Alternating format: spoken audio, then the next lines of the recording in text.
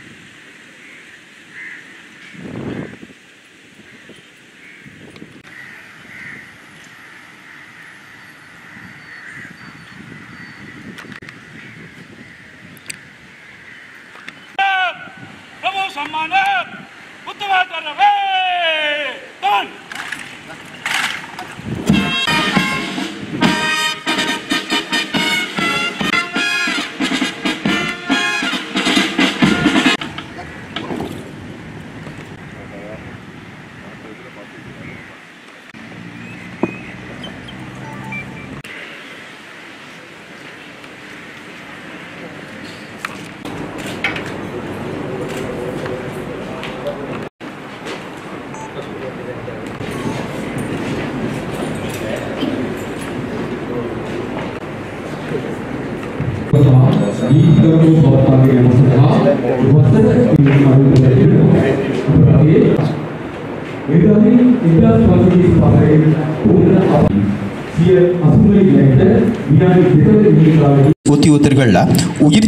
செய்துள்ளார்கள். அத்துடன் ஆயிரத்தி ஐநூற்றி முப்பத்தி ஐந்து உத்தியோத்தர்கள் அங்கவீனமடைந்துள்ளார்கள் இவர்கள் அனைவரையும் மௌன பிரார்த்தனை ஊடாக நாங்கள் அஞ்சலி செலுத்துவோம். இரண்டு நிமிட மௌன பிரார்த்தனை இப்பொழுது இடம்பெறும்.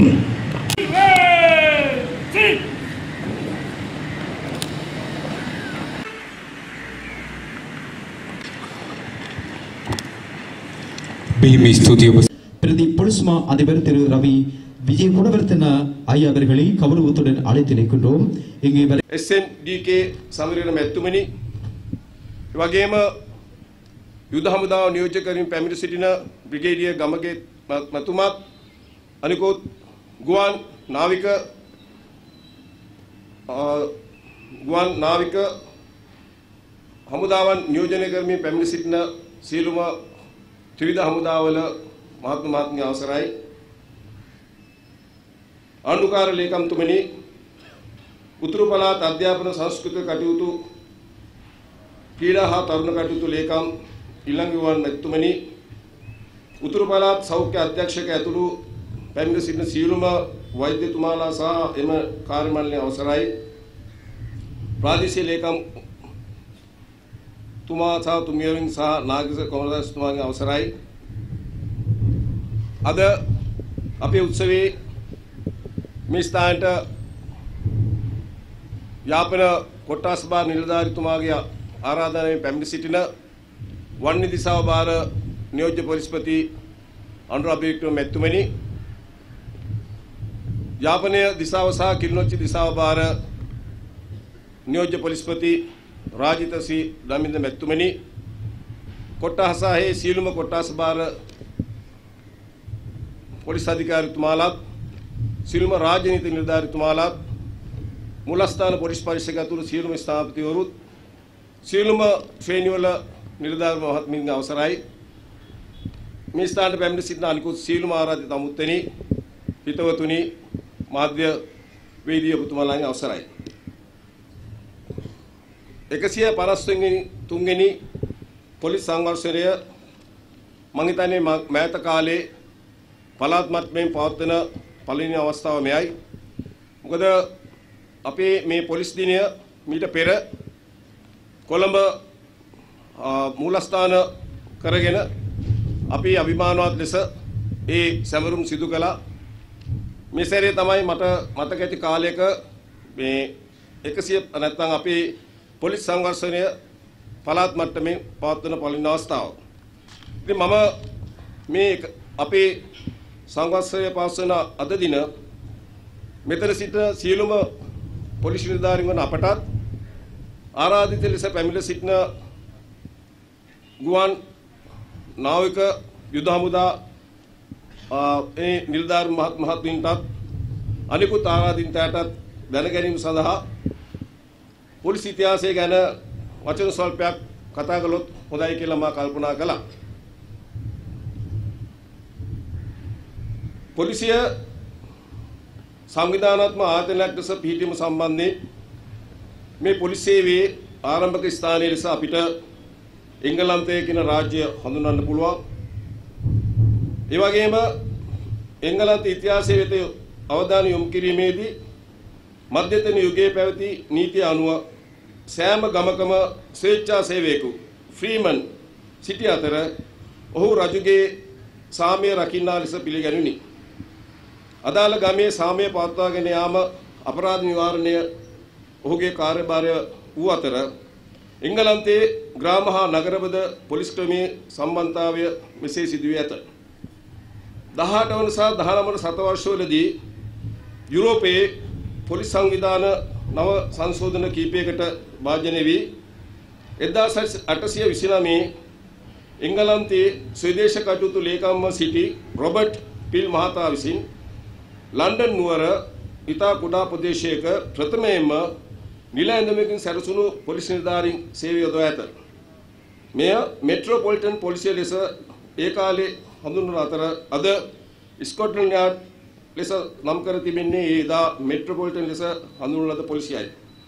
ඒ අනුව නූතන පොලිස් ක්‍රමයේ ආරම්භය සඳහා පසුබිම සකස් කිරීමට ශ්‍රීමත් රොබර්ට් පිල් යන එංගලන්තයේ ස්වදේශ කටයුතු ලේකම් සිටි රොබර්ට් පිල් මහතා නිර්මාතෘවා බව ඉතිහාසයේ සඳහන් වේ.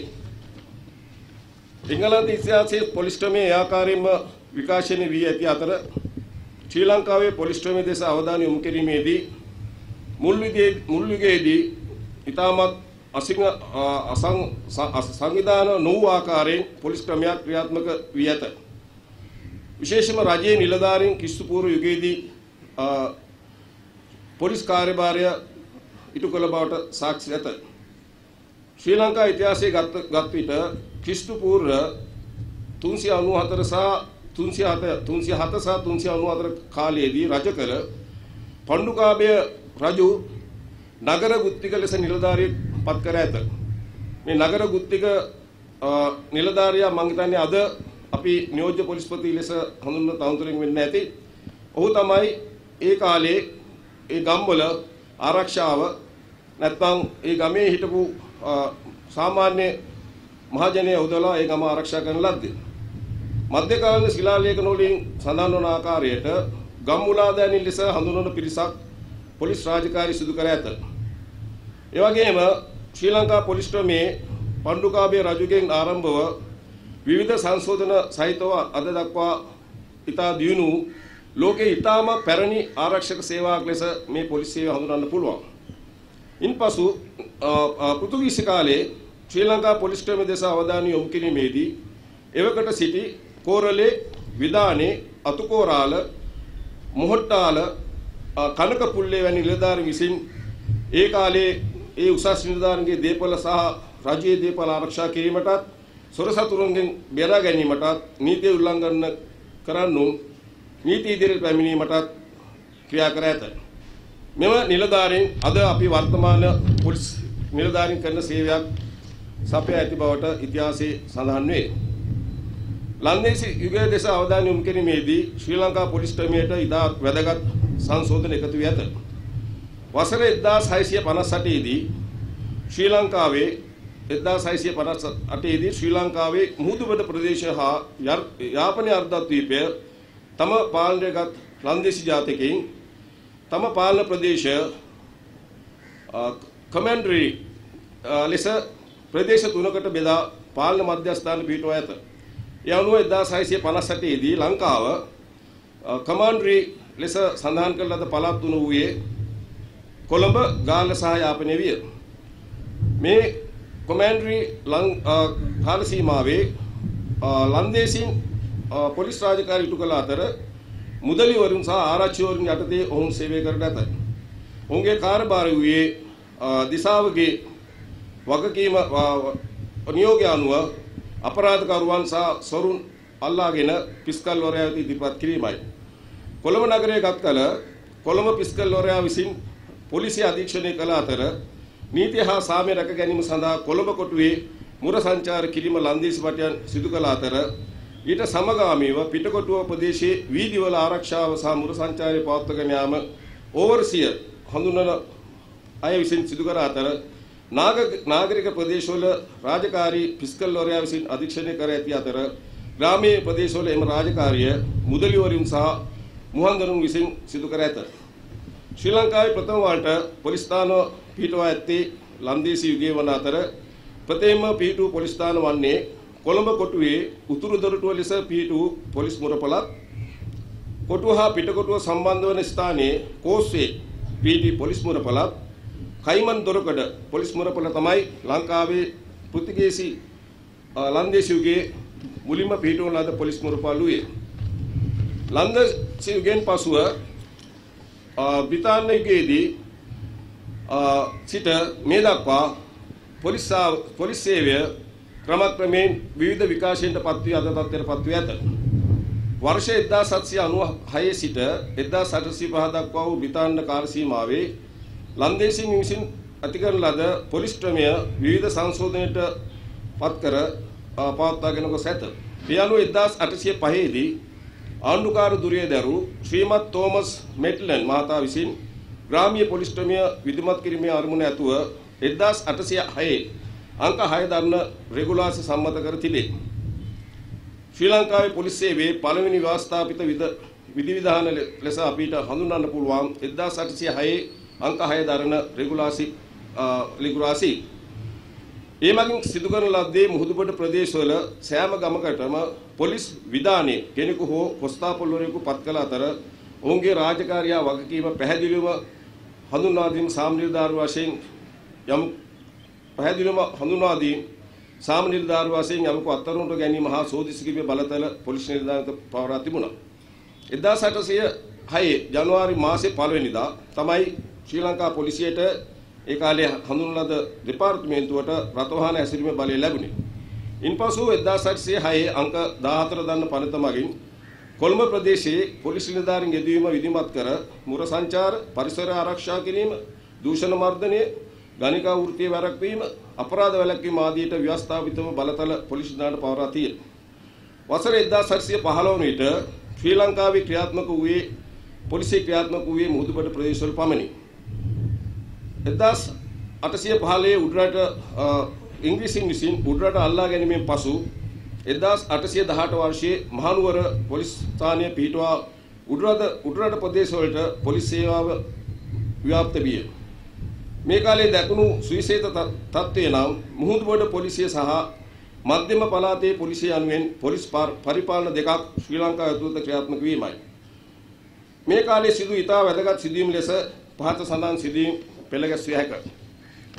1832 දී පළමු පොලිස් අධිකාරිවරයා ලෙස තෝමස් කොස්ටින් මහතා අ, පොලිසියේ එවකට ප්‍රධාන පරිපාලන ලෙස ක්‍රියා කර ඇත. ඉන්පසු 1934 දී ශ්‍රී ලංකාවේ ඇතිවෙච්ච විශාල ගංවතුරකදී පොලිස් සේවයට නිලධාරීන් බඳවා ගැනීම සඳහා උපසේවා පොලිසයක් ආරම්භ වී ඒ අනුව දෛනික වැටුප් ගෙවීමේ පදනම මත පොලිස් නිලධාරීන් සහභාගී කරවාගෙන ඇත. 1934 අංක 3 දරන පොලිස් ආඥා පනත මගින් පොලිස් ප්‍රධානියා ලෙස කොළඹ කොළඹ පොලිස් අධිකාරිය ලෙස පත් කර ඇත. ඔහුට උසස් කිරීම සහ වෙනත් පරිපාලන බලතල පවරා තිබේ. 1843 දී ශ්‍රී ලාංකීය පොලිස් අධිකාරිය ලෙස ලොකු බණ්ඩා දුනිවිල මහතා මුල්ම අ, මුල් වතාවට පත් වී ඇත. 1855 වන විට දිවයිනේ ප්‍රධාන පොලිස් ස්ථාන 25ක් පමණක් පිහිටුවා තිබූ අතර මාසික පරීක්ෂණයන් පැවැත්වීම ඒ වර්ෂය ආරම්භ කර ඇත. මේ ශ්‍රී ලංකා පොලිස් ඉතිහාසයේ තවත් විශේෂ සං අ, වැදගත් අවස්ථාවක් වන්නේ 1864 දී සරදේල්ගේ කණ්ඩායමේ අ, ඔහුගේ සහචරයෙකු ලෙස ක්‍රියා කළ මහම්මලේ මරික්කාර්ගෙන් සබාන් යන කොස්තා පොලිස් කොස්තාපල්වරයා පළවෙනි වතාවට පොලිසිය වෙනුවෙන් තම දිවි පිදීමයි. ඒ අනුව පොලිස් විරුදිනේ ලෙස අ, සබාන් මිය ගිය මාර්තු 21 වෙනි දින අපි අදටත් මාවනැල්ල ඒ විරු සමරු ඉස්සරහා සහ අනිකුත් ප්‍රදේශවලත් ඉතා ඉහළින් සමරනවා. මේ කියන කාල සීමාවේ මුහුදුඩ පොලිසිය සහ මධ්‍යම පළාතේ පොලිසිය ලෙස ව්‍යාකාරයෙන් ක්‍රියාත්මක වූ ශ්‍රී ලංකා පොලිසිය 1865 අංක 16 දරන පොලිස් ආඥා පනත මගින් ඒකාබද්ධ කර 1866 සැප්තැම්බර් 3 එනම් අද වැනි දිනක පොලිස් අධිකාරී GWR කැම්බර්ගේ ප්‍රධානත්වයෙන් ශ්‍රී ලංකා ජාතික පොලිස් සේවයක් ආරම්භ කර ඇත. පසුව වර්තමාන පොලිස් සේවය 1866 සැප්තැම්බර් 3 වෙනි දින සැත් අ, එනම් අද වැනි දිනක මිස හ- අවුරුදු 153කට පෙර අද තියෙන තත්ත්වයට පත්වීමට ආරම්භය සලුටුවන් වී ඇත. ඒ අනුව ශ්‍රී ලංකාවේ පළවෙනි පොලිස්පතිවරයා ලෙස අ, කැම්බල් මහතා පත් වූ අතර ශ්‍රී ලංකා පොලිසියේ පිහිටුවීම ජාතික පොලිස් සේවාව පිහිටුවීම පසු 1867 පළවෙනි වතාවට පොලිස් ස්ථානයක් ආරම්භ කරන ලද්දේ මර අපි අපි දකින මරදාන පොලිස් ස්ථානයයි. අ, ඒ වන විට විදේ- විශේෂයෙන්ම විදේශිකයන් සහ වෙනත් අ, ජාතිකයින්ගෙන් පොලිස් සේවයේ සමන්විත වූ අතර 1867 දී සිංහල තරුණයන් වැඩි කොටසක් පොලිස් සේවයට බඳව ගන්නා ලදී. 1915 දී නියෝජ්‍ය පොලිස් පොලිස්පති තනතුරු ස්ථාපිත කර තියෙනවා. වර්තමාන අ, පොලිස් නිලධාරීන් භාවිතා කරන ලබන මේ අපි අඳගෙන සිටින කාකිරෙද්ද අපිට මුලින්ම හඳුන්වා තියෙන දීලා තියෙන 1927 වර්ෂයේ. අ, ඒ කාල සීමාව තුළ පළවෙනි වතාවට ශ්‍රී ලංකා පොලිසියට නැත්නම් එවකට පැවති විවිධ නම් වලින් පැවති අ, පොලිස් සේවයට පළවෙනිම ශ්‍රී ලංකාවේ ශ්‍රී ලාංකික පොලිස්පතියක් ලෙසපත් වුණේ 1947 දී ශ්‍රීමත් ජුජෙට් අලුයාරි මහත්මයායි. ඒ වන විට ශ්‍රී ලංකාව පොලිසියේ අ, පොලිස් ස්ථාන 200ක් පමණ අ, විවිධ ආකාරයෙන් පිළිවා තිබූ අතර සේවය සඳහා සිටින ලද්දේ 5380ක නිලධාරී සංඛ්‍යාවක් පමණි.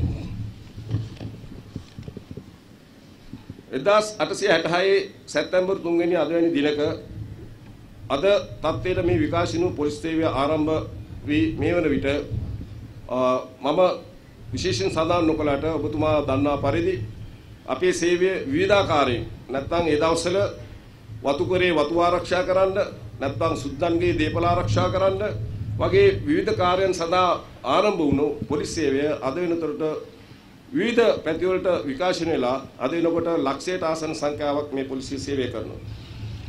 මේ කාල සීමාව තුළ ඔබට මා විශේෂයෙන් සඳහන් කළ යුතුයි. අපි දශක ගාණක් ගැන කුරුළු යුද්ධයක් ගැන කතා කරනවා. යුද හමුදාව හැරුණ විට අ, ඊළඟට මේ රටේ අකණ්ඩතාවය නැත්නම් අ, සෞර්යභාවය ආරක්ෂා කිරීම නිසා පොලිස් සේවයේ නිලධාරීන් 3128ක් දිවි පුදලා තියෙනවා. ඒ වගේම නිලධාරීන් 1535ක් අ, සම්පූර්ණ ආබාධිත තත්- තත්ත්වයට පත් වෙලා තියෙනවා. ඉතින් මේ අද වගේ දිනයක ඒ පොලිස් විරුවන් සහ ආබාධිත පත් වෙච්ච අයට පින්දීම සිහි කිරීම සහ ඔවුන්ගේ පෞල්ලෝය ගැන ගය මතක් කරලා ඔවුන්ට ශක්තිමත් ශක්තිමත් අ, විදියට ආශිර්වාද කිරීම අපේ යුතුකමක් ලෙස සැලකනවා. ඒ වගේම මේ පොලිස් සේවයේදී මටත් විශේෂ සිදුවීමක් තියෙනවා. එනම් 1990 ජූනි මාසයේ 11 වෙනිදා අ, මේ ළඟ අ, අම්පාර ප්‍රදේශයේ නැත්නම් නැගරිර ප්‍රදේශයේදී අ, පොතුවේ සමන්තුර අක්කරපත්තු අ, සම- කල්මුණේ යන පොලිස් ස්ථානවල සහ මඩකලපේ සොරි කල්මුණ සහ වෙනත් ස්ථාන කීපයක නිලධාරීන් සමූහ ඝාතයකට ලක් වුණා. මම එතකොට තරුණ සහකාර පොලිස් අධිකාරියෙකු ලෙස අම්පාර ප්‍රදේශයේ සේවය කළා. අ, සමන්තුර ප්‍රදේශයේ කණ්ඩිකුඩිච්චාරු රූපස්කුලම් කැලෑවිදි තමයි ඒ සිද්ධිය වුණේ. මේ අවුරුදු 153ක ඉතිහාසයේ පොලිස් නිලධාරීන් වැඩිම සංඛ්‍යාවක් එකම ස්ථානයකද මැරුණු සිද්ධිය තමයි 1990 ජූනි මාසයේ 11 වෙනි දින රූපස්කුලම් කැලෑවිදි සිදු වුණේ. මේ ආකාරයෙන් අ, විකාශනලා අද වෙනතට පත්වලා තියෙන පොලිසිය ඔබතුමාලා දන්න පරිදි අපි අ, විවිධ අ, අමාරුකම් නැත්නම් විවිධ කැපකිරීම් කරලා තමයි මේ අද මේ තත්ත්වයට පත් වෙලා තියෙන්නේ. ඒ නිසා මේ උතුරු පළාත බාර ජ්‍යෙෂ්ඨ නියෝජ්‍ය පොලිස්ලෙත මමත් මගේ නියෝජ්‍ය පොලිස්පතිවරුණුත් ඒ වගේම පොලිස් අධිකාරීන් සහ සියලුම පොලිස් නිලධාරීන් විශේෂයෙන්ම අද මේ පෙළපාලට සහභාගී වෙන ඒ වගේම එදිනෙදා දවසේ තම රාජකාරී කටයුතු කරන විශේෂයෙන්ම යාපන වගේ ප්‍රදේශයක තමගේ අ, පවුල් වලින් දරුවන්ගෙන් හිතමිතුරාගෙන් ඈත් වෙලා අ, තමන් මේ කරන රාජකාරිය සමස්ත පොලිස් සේවයෙන් ඉතා අගය කරනවා. ඒ වගේම මහත්ම මහත්මීනි නිලධාරිනි මේ උතුරු පොලිස් ප්‍රදේශයේ අද මේ වෙනකොට පවතින අ, ව්‍යාප්තියත් ඒ වගේම දියුණුවක් විවිධත්වයක් මත පොලිස් සේවය නැත්නම් මේ යාපනයේ ඉන්න අපි යාපන අරුදත්වීවි පමණක් නම මුලතිව් මන්නාරම පිළිනොච්චි වවුනියා ඒ සෑම ප්‍රදේශයකම අපි උතුරු නැත්නම් උතුරු කරේ ලෙස සැලකෙන මේ හැම පළාතකම මීට වඩා අපි කරනවට වඩා අපි මේ පළාතේ අභිවෘද්ධිය සඳහා මේ පළාතේ නීති හා සාමය ආරක්ෂා කිරීම සඳහා විශේෂම ත්‍රිවිධ හමුදාවන් සමග එකට කටයුතු කරන ඒගොල්ලන්ගේ අද මේ වෙනකොට පවතින මේ රාජකාරී කටයුතු කිරීම නීතිමය කටයුතු කිරීම සහ ඒ වගේ ඒ වගේම ආ, අපිට පැවරලා තියෙන ආ, ආරා ආ, ප්‍රභවරු ප්‍රභවරුන් ආරක්ෂා කිරීමේ කටයුතුත් එක්ක තියෙන ඉදිරියන කටයුතු කිරීමට අපි ලොකු වාක්‍යමක් පැවරලා තිනවා. ඒ නිසා මම ඊට වඩා දීර්ඝ වශයෙන් කතා කරන්නේ නැහැ.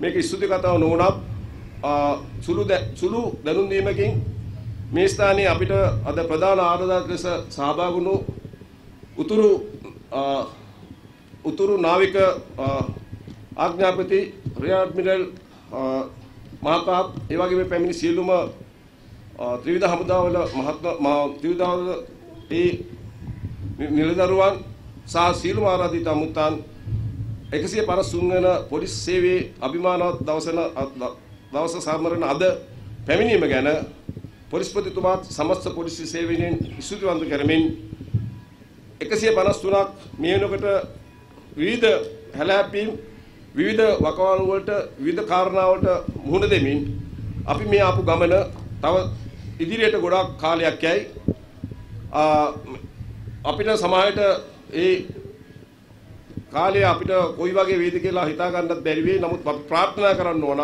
අදට වැඩිය හෙට නැත්නම් ඉදිරියේදී මේ පොලිස් සේවය මේ රටට මේ ප්‍රදේශයට විශේෂයෙන්ම මහජනයාට සු- සුදුසු පරිදි සරල පරිදි වෙනස් වීම තුලින් ඉතා යහපත් මහජනයාට ප්‍රිය සහ රටේ නීති හා සාමය ආරක්ෂා වෙන හොඳි පොලි- හොඳ පොලිස් සේවයක් ආ, ලැබේවා කියලා ප්‍රාර්ථනා කරමින් ඒ සඳහා අපිට දෙන්න පුළුවන් උපරිම ශක්තිය උපරිම සහාය උපරිම සිතුවිලි ලබා දෙන බවට සියලුම ප්‍රාර්ථනා කරන ලෙස ඉල්ලා සිටිමින් ආ, මගේ කතාව අවසන් කරනවා. බොහොම ස්තුතියි.